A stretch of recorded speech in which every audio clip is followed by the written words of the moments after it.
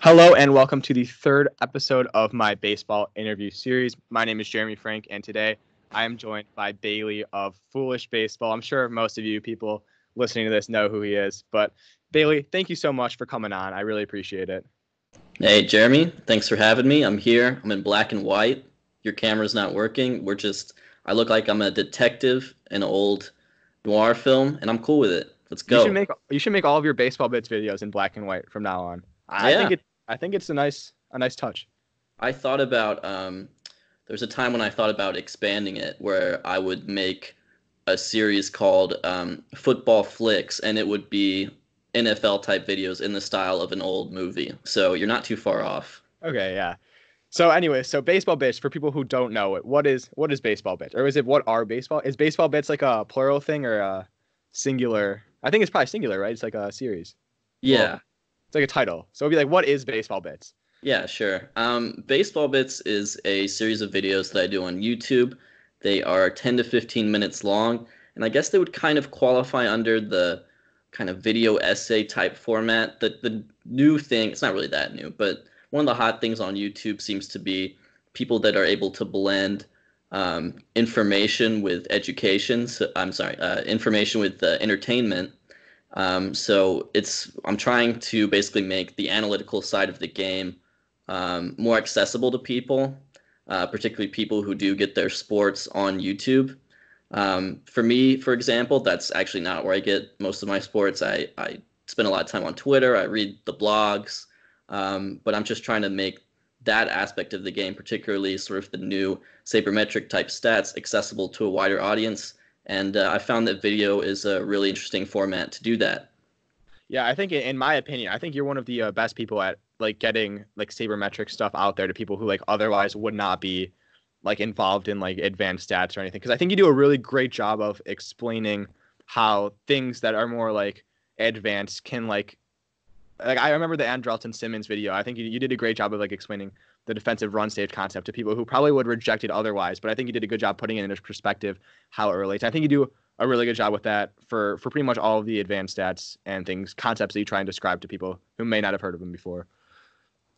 But um, I do. You're on you're on Twitter and YouTube as Foolish Baseball, and I actually this might be an unpopular opinion, but I do think your Twitter's actually better than your YouTube. I, I know a lot of people are like, oh, foolish, but you have way more. You have like hundred thousand subscribers on YouTube and like only twenty thousand on Twitter, 20 20,000 followers. But I, I do think that your Twitter game is actually stronger than your YouTube. So what? Well, I guess that doesn't have anything to do with this question I'm about to ask. Like, what goes into both your YouTube videos and like your your tweets on Twitter? Well, so I'm glad that you did point out Twitter, and that's been a really important tool for the channel for the past year or so. I'm kind of of the opinion that um, YouTube, you have this uh, this algorithm that can promote your videos, and uh, that makes it different from other social media sites. Like for example, I made a YouTube video when I had just a few hundred subscribers. It was about Justin Verlander, and you know hundreds of thousands of people have seen that now, and that's because not of hard work that I did promoting it. It's because of what YouTube did and something in the YouTube recommendation system. The algorithm liked it. Um, whereas on Twitter, uh, if you put something out, you know, obviously you can grow by getting retweets and um, getting exposure on your tweets. But um, when you can get people to follow you from YouTube to another platform, I think that's a good test of just how much people care about what you have to say. So you pointed out, you know, I have closing in on 100,000 subscribers. Fingers crossed that'll come in the next few weeks. Um, and then 23,000 on Twitter. But if you were to compare that to the type of social media following that a lot of YouTubers have, that's actually a pretty good ratio. I have about, you know, for every four or five YouTube subscribers, one Twitter follower. But uh, I put a lot of effort into Twitter. I put a lot of effort into growing it. I'm having a good time. But yeah, I mean, you bring it up. Like I, I genuinely spend as much time like on Twitter thinking about tweets as I do making the videos for uh, Foolish Baseball and Baseball Bits. Yeah, and I think that there's there, there's like there's like a foolish baseball brand almost like with your YouTube videos and your tweets, but they're very different. Like your YouTube videos way more serious. Obviously, you do make some some jokes once in a while in your YouTube videos, but like like, you said, like way more like like information educational, I guess you could say, where your tweets are kind of more like just like funny, like things you. I'm sure you spend a lot more time thinking of them than um, it it appears to the uh, the reader, but th- they're very very funny tweets, and you, you remind me a lot of uh, Jon Bois, and I'm sure you get that comparison a lot. Do you have you talked to Jon before, and like, do you how do you how do you feel about that comparison? Uh, I've never talked to Jon. Um, I so as far as like my relationship, my parasocial relationship with Jon, I should say. Um, I've seen some of his videos. I haven't seen all his videos. Um, I've been recently enjoying Fumble Dimension, which is his current project. Yeah. Um, which is he does with uh, Kofie from SB Nation, who I have talked to quite a bit actually. Okay. Um, and um, but yeah, I think I mean you kind of hit the nail on the head. Like, um, I'm definitely like I think my videos definitely are influenced by Jon to some extent, but I think the Twitter game is probably even more influenced by him, and that's that's my Jon Bois fandom. I think he's just a great guy on Twitter to follow, and um, so I, I really admire just like his uh, sense of humor.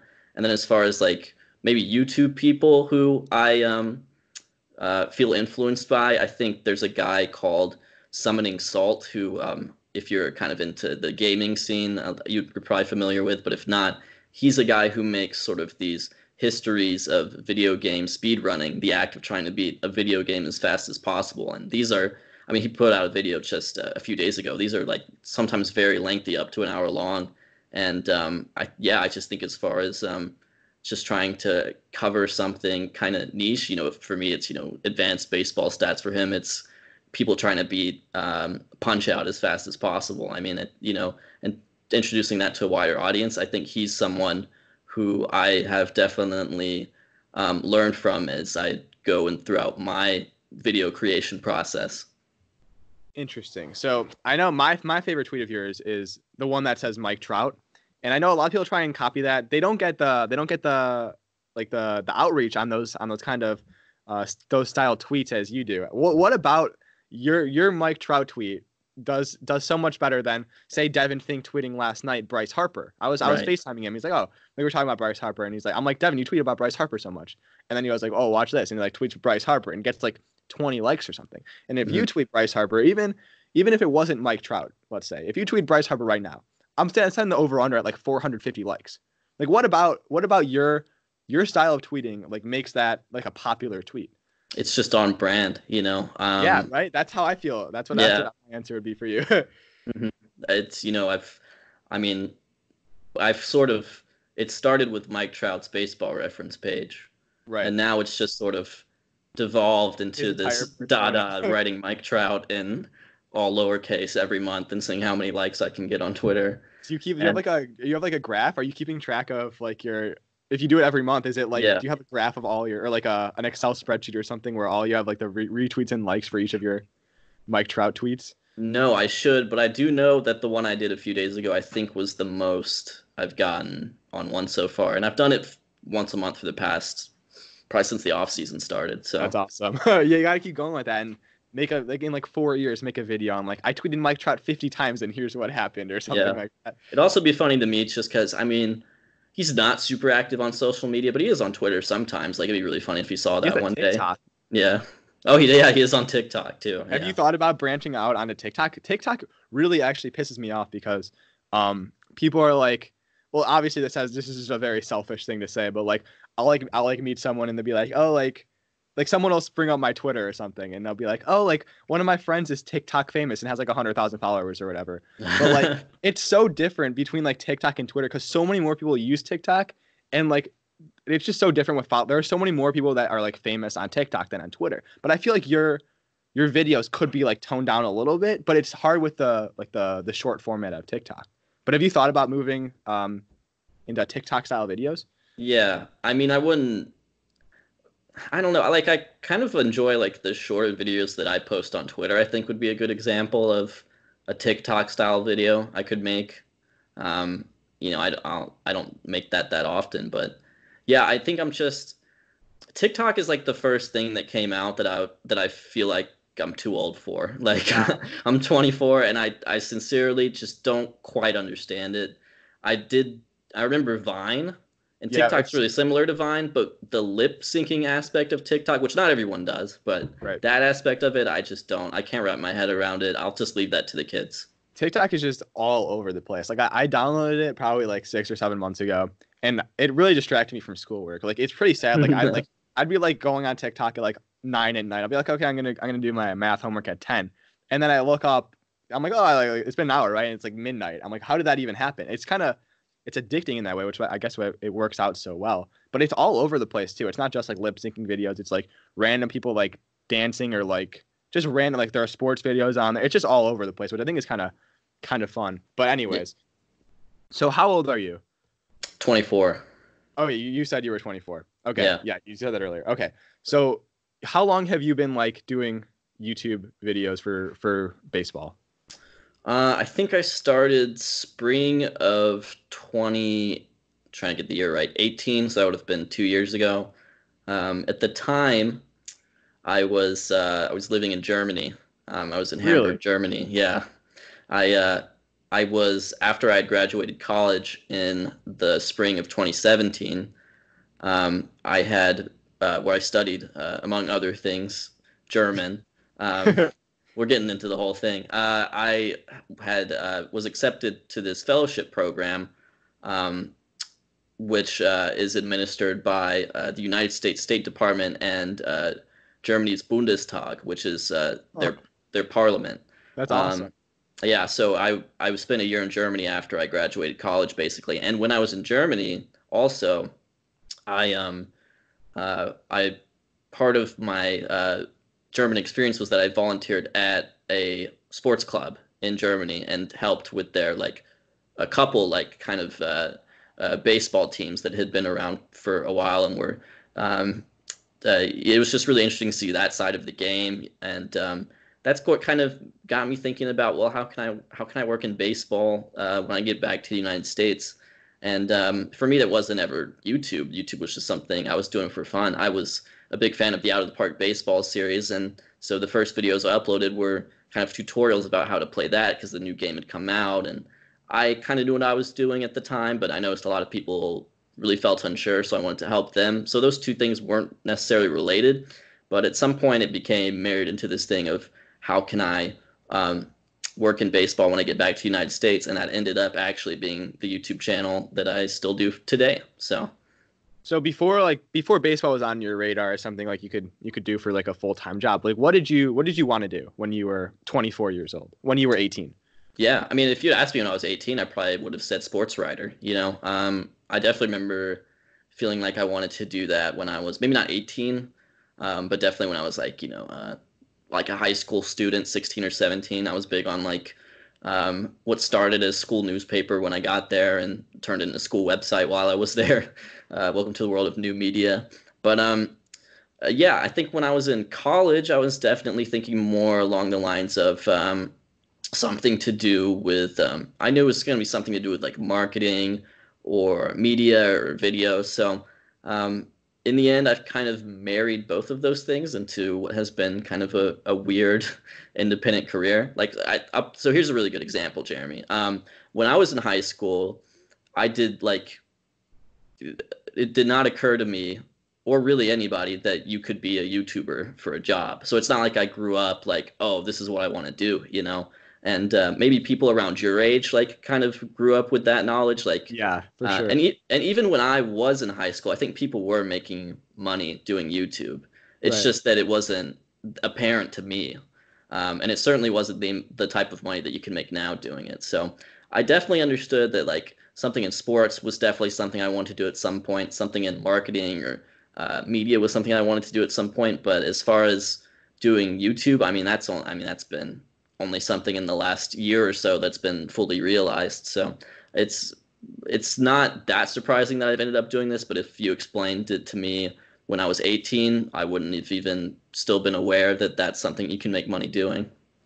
So um so you've you've you just said it, but you've been really like your your accounts have grown like exponentially in the last year or so. I remember I didn't even know who you were probably 15 months ago. I remember um, I remember you shouted me out one time, and I'm like, oh, like I thought I followed you back, I think right away or whatever. But then I found you on YouTube, and I was like, oh, this is like this is pretty cool. And then like, you're one of the most popular like Twitter accounts and YouTube accounts for baseball. Just like a year and a half later, not even.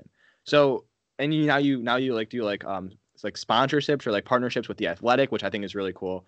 But like, where do you? This might be a hard question for you, but in like five years, where do you see Bailey of Foolish Baseball? Like, what do you see yourself doing, and where do you want what do you want to be doing? Yeah, I mean, so even when I started taking this thing like more seriously, it I don't think the end goal was to still be doing YouTube like I am now. I thought basically I would start doing this, and I, I didn't even see this as like a stable career. So I thought maybe I would do this for a little bit and then get brought on by a team or a right. publication. Um, and I I would still be interested in that kind of thing. There is um, I think I would be like really well served. Um, I'll tell you my dream. My dream is to um, there's this channel for NFL. It's called NFL Throwback. Um, it's fantastic. Uh, they have like, I, I, think I've heard of them before. Yeah, they make like they'll upload like mini documentary type stuff about a player. They'll upload like they'll take like an old Hall of Fame player, and with the NFL they have video of everything, so they can grab like they can put together like a highlight reel of a defensive back that played in the 50s, and it's quite funny actually to to imagine someone putting that together in 2020. But um. I would like to I would like to do the MLB throwback channel and, and basically be like the creative director of that. Just decide what cool old clips get uploaded, what cool old full games get uploaded, what kind of you know, I could make still my own type of videos where I, I analyze, like, say, a classic game. Uh, I think that would be really cool. I think, um, you know, I don't, I don't imagine I'll be doing just straight up baseball bits five years from now. That's just a, that's just a long time uh, to to imagine. Um, but I could see myself maybe in a more like creative director type role where hopefully I'm I'm helping other people create as well as creating myself. Gotcha. Yeah, I think uh a lot of people criticize um like MLB in specific for for not marketing the game as well as they could be or like marketing the players. But I think um I think what MLB does have that sports may not other sports may not have as well is a lot of people who do like content creators like yourself who are very passionate about the game and whether or not you're affiliated with Major League Baseball, I do think you do a great job of keeping people interested. Like I'm sure if you put a baseball bits up tomorrow, it would get a ton of views compared to I mean, there's no sports going on right now, and it would still right. bring a lot of attention to whoever it was. Like I know you said Andrelton, or I, I know I saw on Twitter. I think that Andrelton Simmons watched your video, and so did Tim LaCastro or LaCastro, however you say his name, on the Diamondbacks, which I think is like crazy that like an independent creator such as yourself can just make a video 15 minutes long like oh this guy's really interesting like what like watch some of these clips or whatever and like look at these stats and like within a couple days like the player has seen it himself which i think yeah would be would make sense for MLB to consider like hiring you or uh, uh, MLB or a team specific because you do a really great job of reaching a, a broad audience and like connecting with people who probably don't feel connected by like with with by Major League Baseball. Like people like say like oh Major League Baseball like doesn't market its best players enough. But mm-hmm. I guess the game does have people like you to do it for them, even right. if you're not working for them.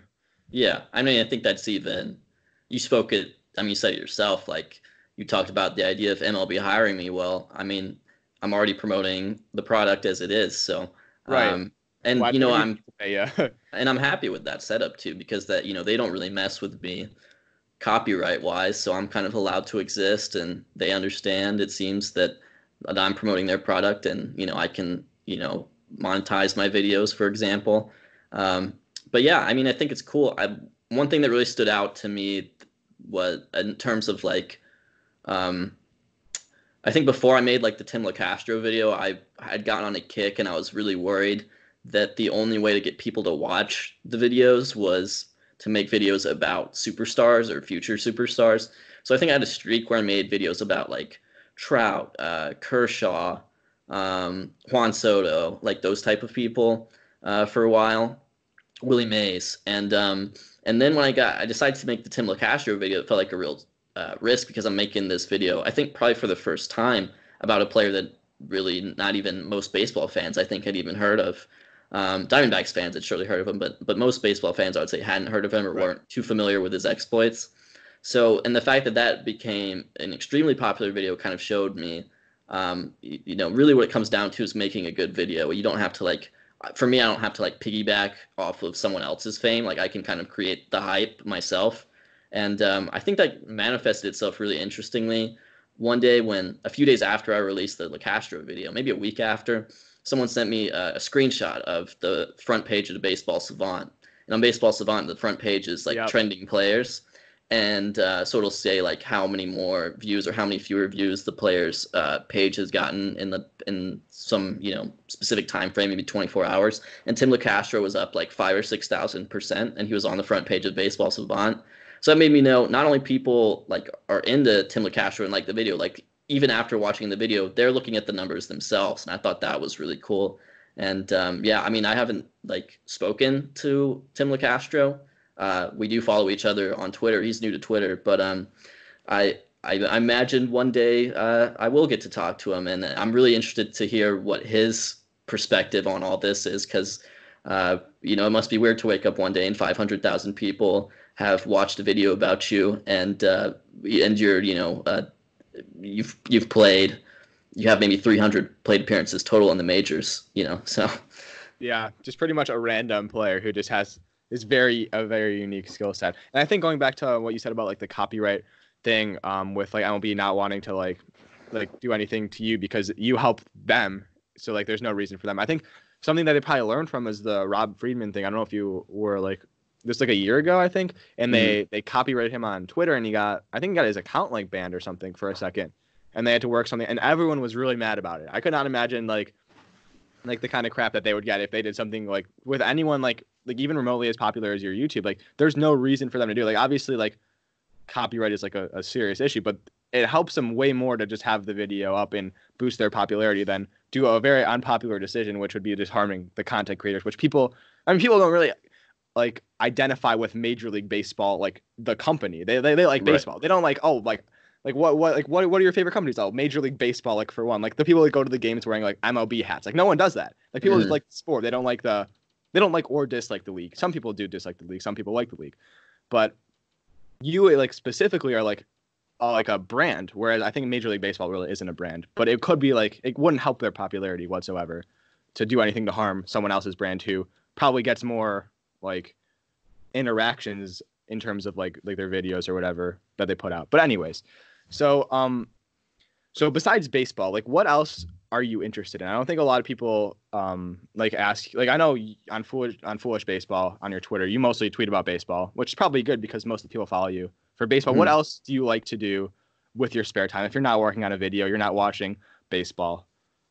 Yeah, I mean, so uh, I'm really into music. Uh, I'm not a musician myself, but I I spend a lot of time and have spent a lot of time uh, previously just like kind of reading through like music blogs, looking at reviews for old albums. There's a website called Rate Your Music. I'm on there a lot, trying to find new albums to listen to. So uh, I listen to, I mean, all types of music, but lately it's been more like kind of 70s, 80s, new wave, post punk type stuff. So I'm kind of into that.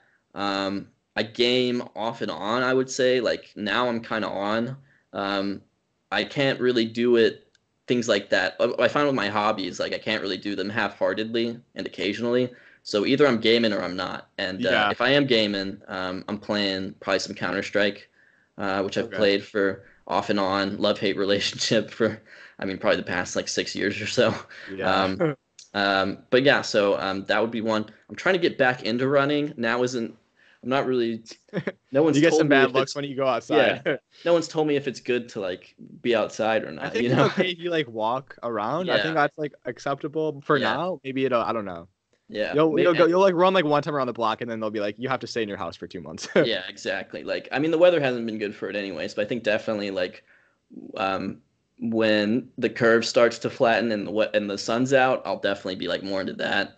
Um, yeah, and then uh, I don't know what would be another thing I'm into. Um, oh, um, uh, comedy. You know, I like stand-up comedy a lot. I've I've tried my hand at open mics a few times to uh, mixed success, but um, really, what I admire the be- confidence. yeah, YouTube has become kind of the creative outlet for that. Like as soon as I started taking this seriously, it was just like the creative itch had been scratched. So I haven't really done it since I started taking YouTube seriously. It's like, you know, why do I have to get on a stage in front of you know 15 people who are also you know trying to do their five minutes when i could just uh, fire off a tweet and i know 20000 people will see it or fire off a video and 100000 people will see it. So uh, yeah. i like comedy i respect comedians but uh, safe to say at this point my creative itch has been scratched and it's not for me at the moment.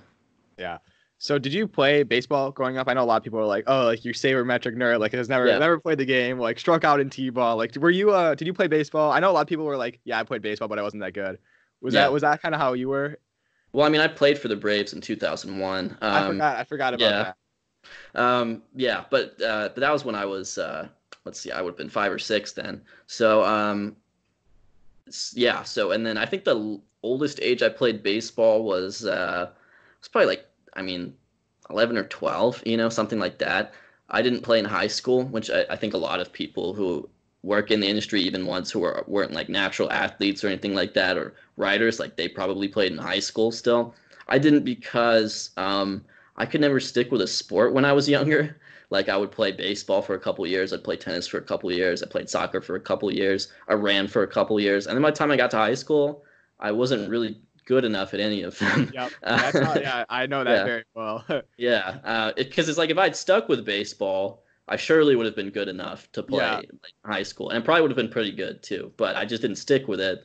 So when I by the time I got to high school, I was like, I'm probably just not going to play a sport, I guess. Um, but yeah, I mean, I wasn't like a bad, I wasn't like bad at baseball, but I wasn't, I clearly was not like, uh, you know, extraordinarily gifted or anything. So um, I played, I enjoyed it.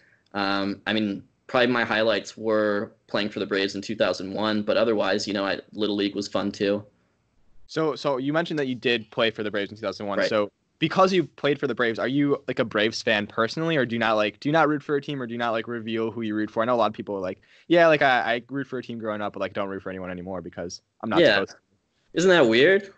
That's to, I mean, you're kind of you're like that to some extent. Like you're, if anything, you're a Cubs fan, right? Right. But you know, for example, like your fandom, I feel like for Purdue basketball is probably greater than your Cubs fandom. Oh And- yes, yeah, Yeah. I would have. Ra- I'd rather have Purdue basketball win a national championship than have the Cubs win the World Series next year. And that Right. partly because the Cubs just won a few years ago, and it's actually on mute on my TV right now on MLB Network, yeah. which is very nice. But, but yeah, no, for sure.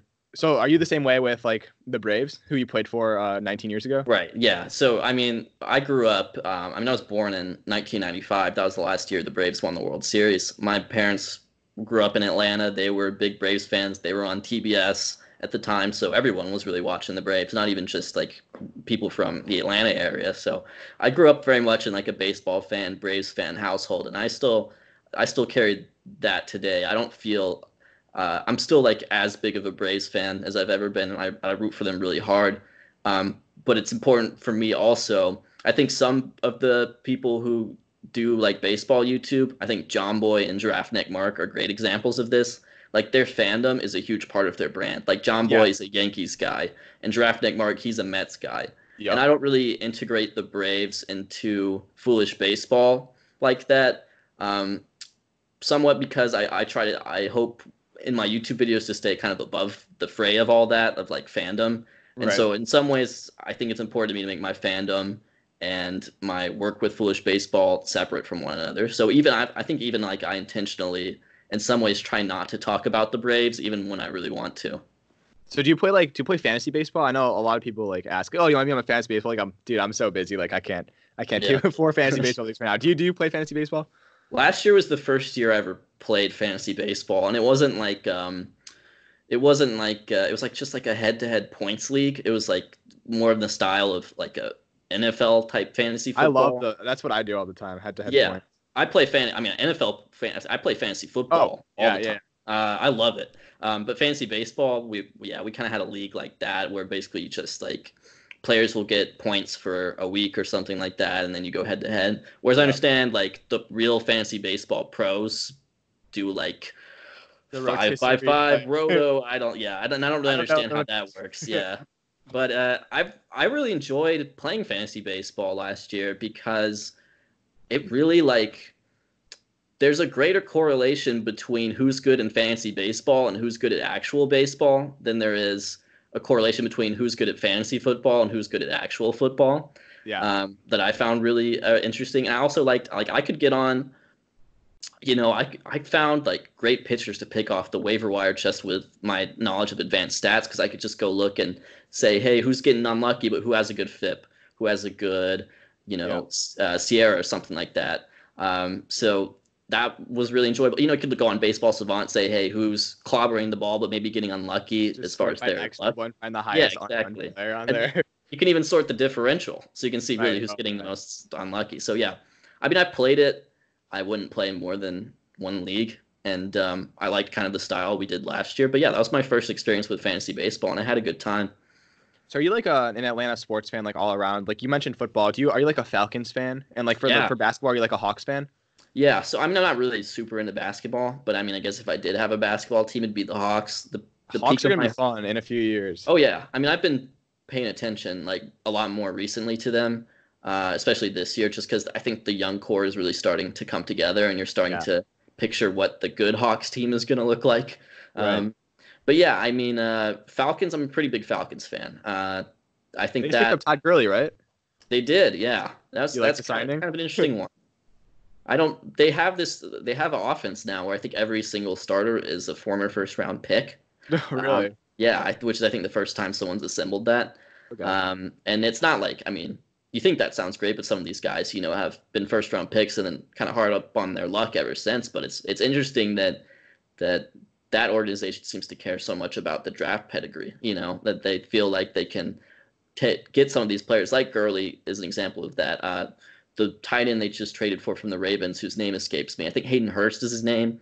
Ah, that rings that's kind of- yeah he they kind of they i think the falcons see themselves as like we could do a reclamation project on a few guys and turn first round potential into like uh, uh, you know a good football player even if the first couple of years of their career haven't been good. But yeah i'm a pretty big falcons fan and atlanta united too. I really like them Okay. in mls and atlanta united a couple of years ago i guess that would have been uh, Uh, about a year and a half ago they won like they won the mls and Oh yeah, atlanta I'm had a big title soccer guy. I can Yeah. tell you anything about basketball or football or baseball, but soccer, I you could have said that they went they went winless, and I would have believed you. yeah that's pretty cool. they went from expansion team to I mean they won it in their second year of existence. So Wow. it was really cool and it's like that was I mean Atlanta hadn't had the title since 95 with the Braves. So that was cool Right. too. But yeah, I would say Braves are definitely my number one team in sports and then but I like the Falcons as well. And then Hawks and Atlanta United, I'm very I would say fair weather. I would say if they're if they're winning, I'll pay attention and if not, I'll just kind of forget about it. So for me personally, I find myself like obviously I'm a Cubs fan. I, I root for the A's and Angels too because of like Matt Chapman and Mike Trout. So I guess that's kind of what I'm asking.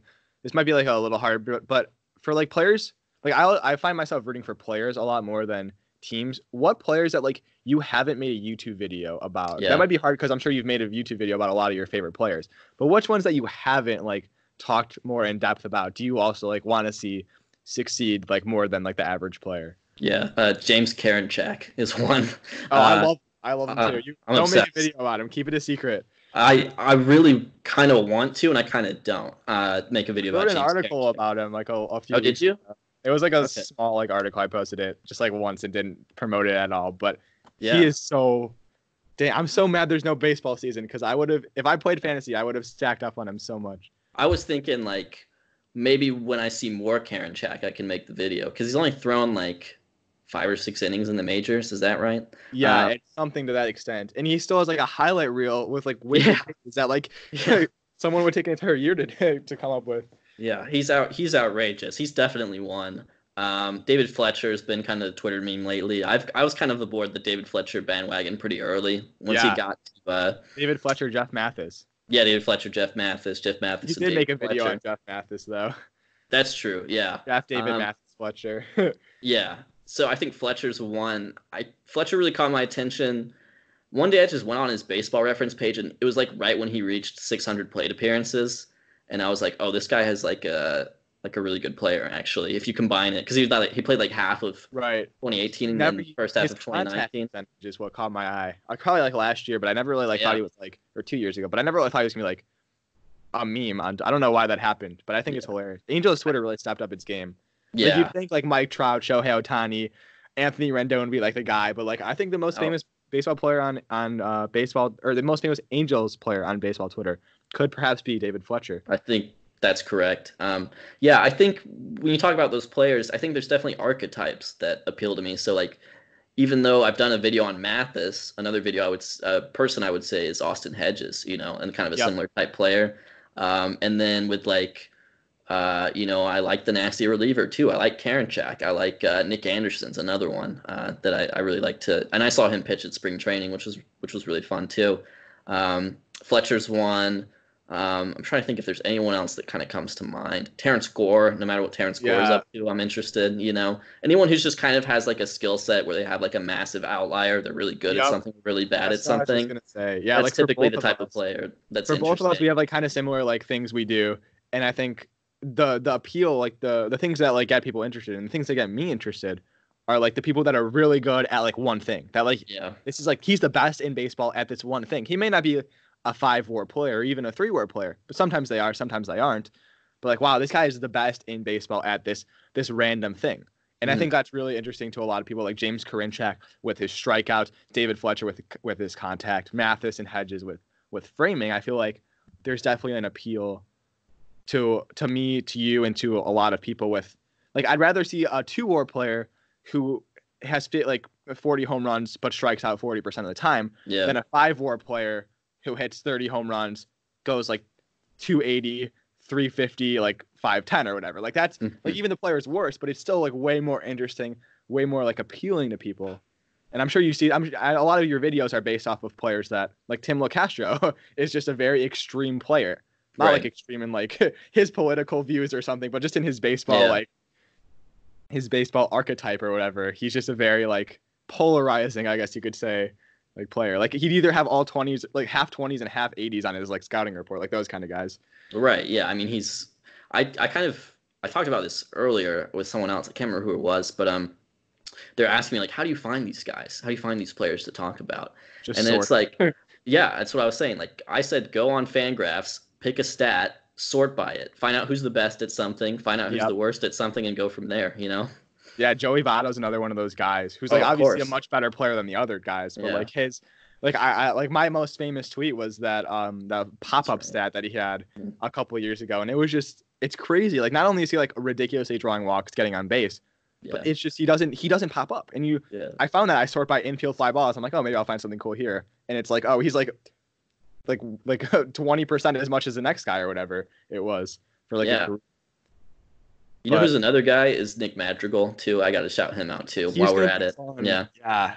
I'm a lot of people like think like oh like you're a Cubs fan like you can't like root for the Sox, but they're they're gonna be really fun. Him and Luis Robert and Eloy Jimenez, they're all kind of like that. Like they could be like Jimenez is more like just a stereotypical power bat, but mm-hmm. he could be one of those guys that like hit 60 homers in a season. Nick yeah. Madrigal is gonna hit 310 with an on base percentage of 320 and strike out eight times the entire year. Just yeah. really fun. He might not be the most valuable player. He probably will be mm-hmm. a little bit valuable.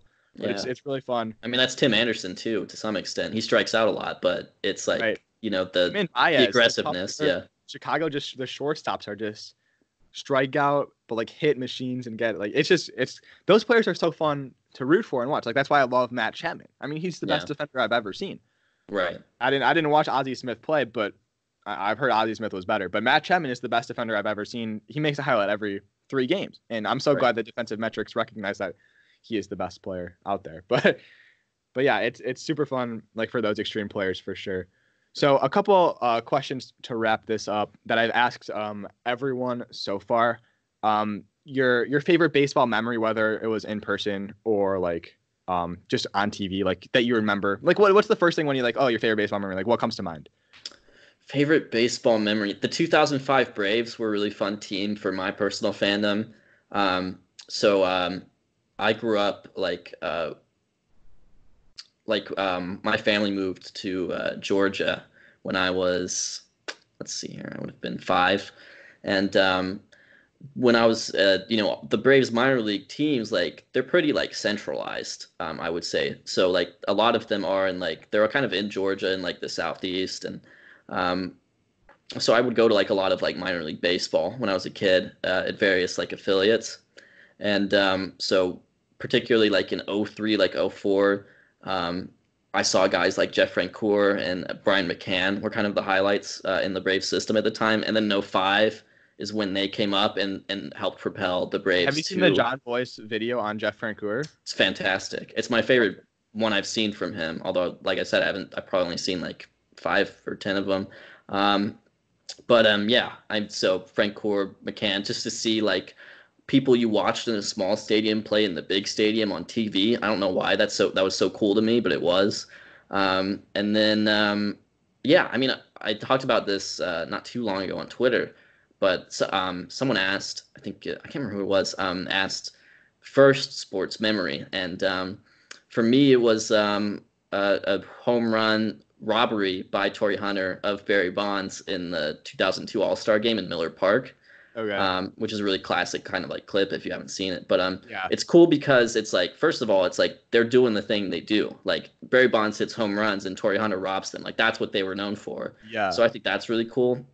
And also, it's like uh, I was like seven at the time, and I remember being with like my family and I were on like this road trip in an RV, and we were going basically across the country. And it was the day of the All Star game, and I really wanted to watch it. I was a big baseball fan, even at that age, and I remember we got to like this RV park, and sometimes we had like a cable hookup and we could watch TV, and sometimes we couldn't. And we were there, we couldn't watch TV, so I was like, oh no, I'm gonna miss the All Star game. And so I remember like going like with my dad to like this like the like the office, I guess, where you pay for like your spot or whatever, and just like asking the guy to like turn on this like really tiny TV that was in there and just watching the first few innings of that game. And that's kind of like a special memory just because it's like it's about you know basically my dad doing me a big solid and helping me see the game. But also like I saw that really cool moment, like iconic sports moment because of him. So I think that's definitely a, like a really positive sports memory I have.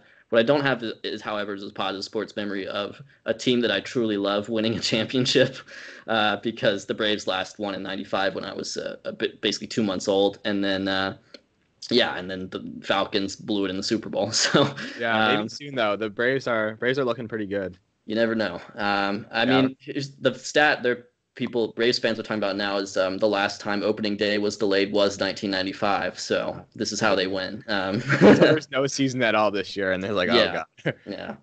But um, okay, last question for you. Um, in school, whether it was like college or high school, what was the favorite? Like, what was your favorite class that you've, or like some of your favorite classes that you've you've taken? That's a good question. Um, yeah, that's the one I'll put you on the spot for because that's kind of like out of nowhere. But yeah, I mean, I so when I was in high school, um, when I was in high school, I really enjoyed like I talked about a little bit earlier, but I was in like a a journalism type class that I took like four years. It was an elective, you know, it wasn't like a, yeah. a core educational type class. Um, also in high school, uh, I enjoyed English was probably my favorite subject. Um, and then when I got to college, I enjoyed all the German courses I took as well as history. Those those are the ones I majored in. And then as far as like the non-major courses, I took like um, I took like an art history, um, just kind of on a whim, like my last semester or maybe my second to last semester, and I had fun with that one too. I don't really know how this connects to baseball, but yeah, those are the ones I enjoyed. Yeah, I just like asking that question. I know a lot of people listening are probably in high school or college. Oh, I and, see. Okay, yeah. And like I, I just like asking the question. A lot of people um, I, I bring this up probably like every time that we talk, like I talk about this, but a lot of people are like, "Oh, like how do you get into baseball? Like, what do you, what do you study in college?" And it's like, I, it, for me, like whenever I someone asks that question, I'm like, "Oh, like do whatever you're interested in, and then like apply that to baseball." I've talked to a lot of people who are like philosophy majors. I like talked to Dan about this like in the last video, but it's like some people like philosophy majors or like neuroscience majors who like work in a baseball front office now. Like, how does that happen? Sure. It's because they're creative people who take what they enjoyed and like use whatever to apply it to baseball. So that's why I like asking that question because I think it's not everyone liked like took AP stats or like loved AP stats. Like not every yeah. stats person took AP stats or like loved calculus. Like not everyone's yeah. like a, a nerd. Like everyone like people I like I like talking about like the personal like aspect of things. Like people don't just love baseball from like a analytical sense. They have other things that they enjoy, which is why I like asking that question. But yeah, and- anyways, um as this interview um just one minute ago, Noah Syndergaard is um, expected to have Tommy John surgery. So. Oh no. Yeah, I'm sure huh. that everyone watching this has known this for a couple days because this won't be out for a couple days. But huh. figured I would let you know he has a torn ligament in his right elbow and is expected to have Tommy John surgery. But I guess this is the year to do it, right? Oh, for sure. I mean, there might not even be a missed start for him. that kind of sucks. He's had some injury issues. I really, yeah. really hope. I, I always hope every year like he can put. He he's really good when he's not hurt. Yeah. I mean, even last year he was really good and kind of unlucky. Yeah, no, for sure. And he's dirty and with the show too. You can throw like a hundred mile an hour sinker. It's kind of impossible to hit. But anyways, Bailey, thank you so much for coming on. I really do appreciate it, and I hope you have a good rest of your day, rest of your week, and rest of your Corona break. All right. Thanks, Jeremy.